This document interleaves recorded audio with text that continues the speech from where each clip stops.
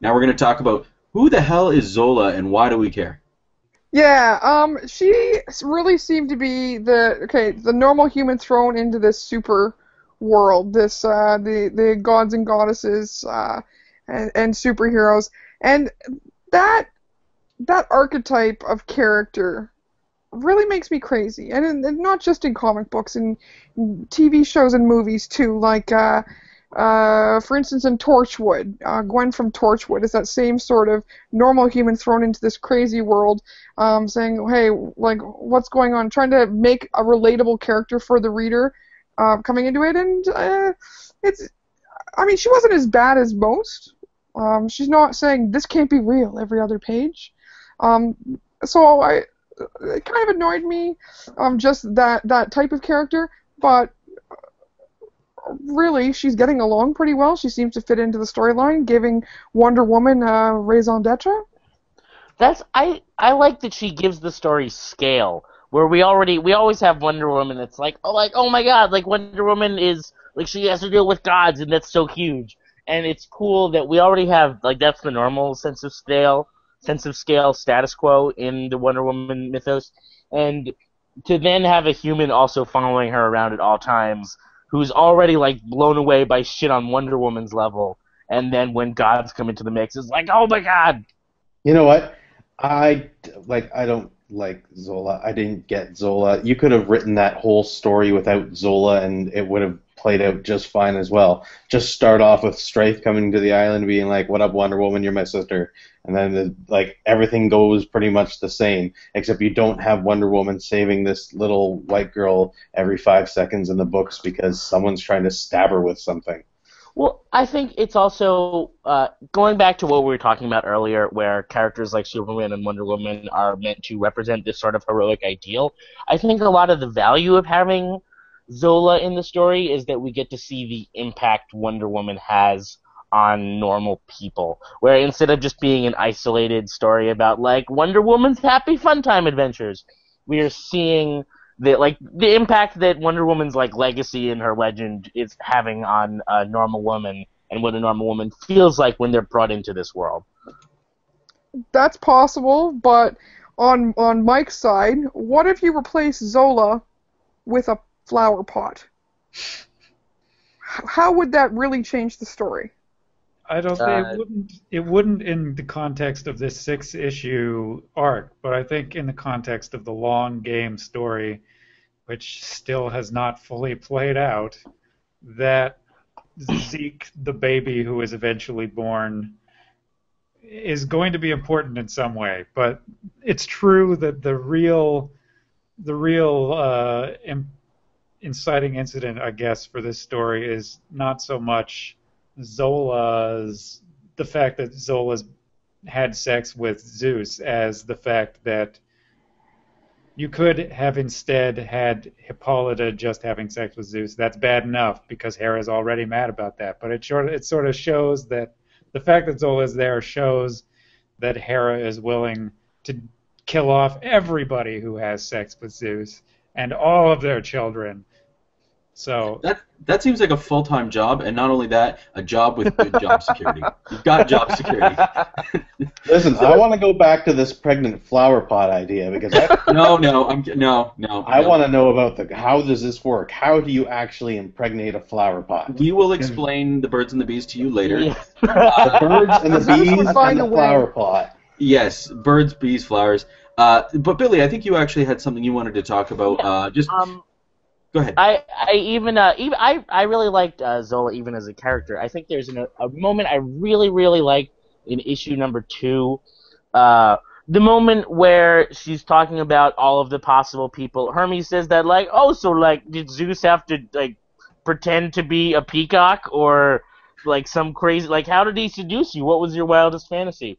And she's just like, I could have been a truck driver, could have been uh, a guy I met who was in a band and Hermes is like, oh wow, like you really get around. And she, I think in a lot of Wonder Woman comics, uh, it there's this very unfortunate thing where sex with men is seen as kind of like degrading and shameful. And like there's a story in the '90s George Perez one where where Hippolyta is like raped by Hercules, and it's horrible. Um, but instead of this being a like, oh, like Zeus is taking advantage of these these poor dumb bitches who don't re- like don't understand. Uh, they just uh, instead she says like, yeah, I like having sex with men. I'm not gonna apologize for that.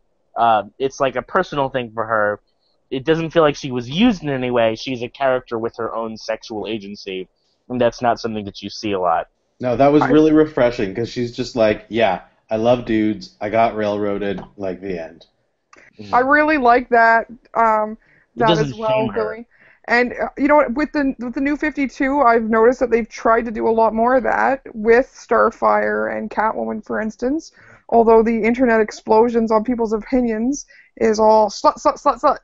When Starfire in uh, uh what was the book? The wasn't the Uh, it's it's Red Hood and the Outlaws. I feel like yeah, I didn't like those portrayals as much because I I don't think the problem with both of those series is that Starfire and Catwoman are being sluts, which is not uh, which is I, again and without even getting into the word, fact that the word slut isn't a word that I think we should use, but Makes me uncomfortable. but yeah, but we're talking about it in the context of internet conversations. I feel like the problem with those portrayals was that in this case, Zola is, she's just like a normal woman with a life, and that's like that's what she that's like something that she does for fun. But her sexuality doesn't define her as a character. Whereas it seems like Starfire and Catwoman, instead of just the, like the fact that they have sex is an incidental thing to them, it almost fe- I feel dirty reading those stories. Like they're being pimped out by the writer who's like like yeah you like orange boobs dude I know you like orange boobs.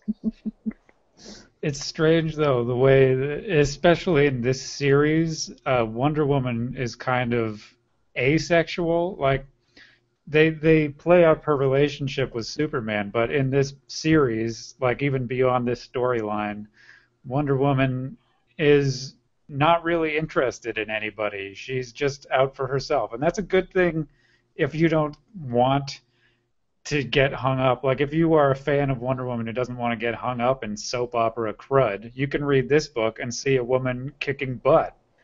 And that's what Wonder Woman does in this book. She's not defined by her sexuality. She's kind of defined by her lack of sexuality, which is both good and bad because some people are sexual. And they still uh, they still introduce elements like that. Another one that I really liked was uh, was going back to Hippolyta when they talk about Hippolyta's affair with Zeus. Ori- like the original like Hippolyta and men story is like people are is, Hippolyta is the queen of the motherfucking Amazons, like one of the most powerful women in the world, and they always have. But then a, a strong man had his way with her, and she's they like kind of turn her into a damsel in distress a lot of the time. But when we see her having sex with Zeus, she they there it was like showing her monologue about it, where like she gets on top, she's taking control. Like the appeal of that relationship with her is that yeah, is that she was like the dominant one in that relationship, and it was like a power dynamic that she was, where like she was getting hers. It wasn't her being taken advantage of. That was like war rage sex. She was like, let's fight and let's fuck. Mhm. It's also interesting that uh, I don't think it was in this arc, but later they reveal that the Amazons exist, or the Amazons procreate by going out and attacking and raping sailors and then throwing the male babies Mm. into the sea. What? what? But okay. Is I that know. where Aquaman's group gets like Oh. populated from? uh, like, hey, look, babies floating in the ocean. We'll like save. Uh, the fact that they you're the are- you're going to hell, Mike. I like the fact that they have sex rather than just being like eternally women who just exist on this island who came from nowhere as Amazons. They have some kind of lineage, even though I- kind of uncomfortable. Yeah, it's a, it's false problem. I did. I laughed so hard when Hera described Paradise Island as a cockless coop. Oh, that's a bit. That's a bit on the nose. Yeah. Um. Uh, what? There was uh another moment that I really liked was in the sixth issue. There's a point where they're talking about. Uh, I think it's it's Wonder Woman and Hades. I think they're talking about Hera, and Hades is like, she's like, she's a queen who's lost her king. She's worthless now. And Wonder Woman, her response to that is, and that, that's also that's always another thing that's like very common in comic books is, uh, is like what like these female characters who are kind of useless without their male counterparts. And Wonder Woman's response to that is, a queen without a king means she has nothing to lose. So she is only more dangerous and terrifying now than she has ever been before. She's off the chain now. I would like to agree with you, but I, I unfortunately cannot. Uh, your entire point is invalidated, Billy. Uh, you're drinking Pabst Blue Ribbon. I'm sorry. It's cheap. I'm broke. Your point is invalid because you can't just let people be happy, Jamie. I think you're the one with the problem here. Yeah. I'm happy. Well, one last thing I want to say about this series, and this is more a question about Greek mythology in general, but they talk about okay, so uh, Zeus, Poseidon, and Hades divided up the entire world, and the three parts they divided into were the skies, the oceans, and the underworld, and that's the whole series. They're talking about like, but Zeus has the skies, the best of the deal. I'm stuck with the water. Who? Why? Why? Why does none of them have land? Whose decision was that? That nobody like? Why? It seems like they all have this shitty part of the deal. I don't understand that. That's all I wanted to say. That feels Man. like a ridiculous thing about Greek mythology. If if it made sense, it would probably still be around, wouldn't it? Yeah, fair enough. So I, I, have one question for our subscribers. How do we like Brian Azzarello's treatment of the Wonder Woman character so far, and do we think it's going to improve over previous incarnations of the character? Let us know in the comments below. And that's a wrap for another episode of the Comic Book Showcase. Join us again live via chat or Twitter next week. Like us on Facebook or follow us on Twitter. And to learn more about today's topics, check out the Marvel and DC databases on Wikia, the ultimate resources for comic book information anywhere. I have a question for our subscribers. How do you feel about sex with flower plots? flower plots and sex is a bad combination. Something you don't want to get into. Kids, say no to flower pots. Do we have? Am I am I under the impression now we're gonna have a PSA with every episode? Uh, that, was, that was not a PSA. I don't do PSAs. That was, that was a just, warning. He's coming a, for you. Warning. That wasn't a warning. That was a promise. Flower pots are mine. Stay away from them.